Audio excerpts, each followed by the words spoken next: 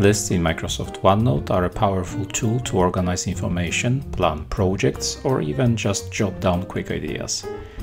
You know already how to create lists, but now it's time to take it a step up and learn useful keyboard shortcuts and other tricks to make your work even more efficient. OneNote offers different types of lists, from simple bulleted lists to more complex ones. Here's how to create a basic list.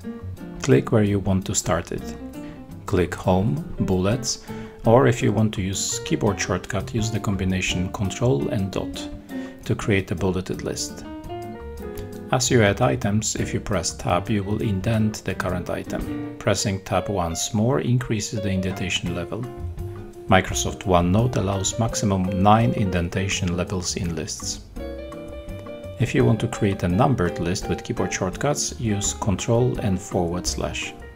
Similarly to the bulleted list, if you press Tab in a new item or by placing your cursor at the beginning of an existing list item, you will increase the indentation. If you want to decrease the indentation, just press Shift tab. Of course, the indentation buttons visible on the Home tab will work too. Depending on what list formatting is chosen, the list will look different. You can adjust the formatting of your list by clicking somewhere on it and then clicking on the down arrow button next to the bulleted or numbered list button. You will see a gallery of buttons to choose from a gallery of various numbered list formatting styles. Please note that for the numbered list you can not only choose the style but also customize the numbers.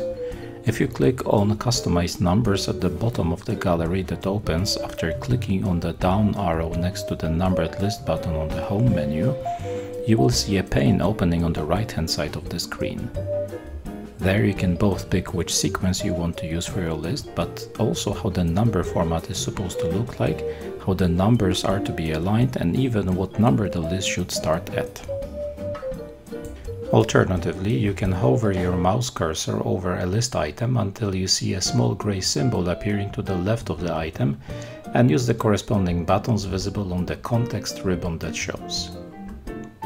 Please note that these changes will be applied only to the currently selected list item.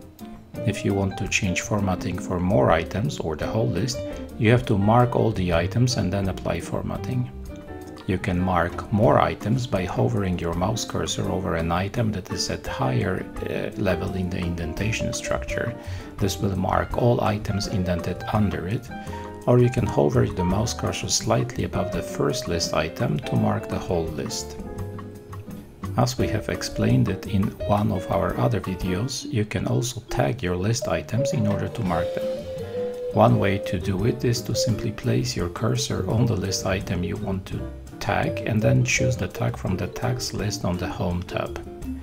But you can of course also tag your list items with keyboard shortcuts.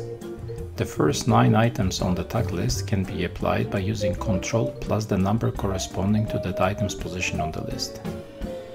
If the tag you want to frequently apply with the help of keyboard shortcuts does not have any shortcuts assigned, you can always click on Customize tags at the bottom of the tags list and then move the tags up and down until your tag is one of the top 9 tags.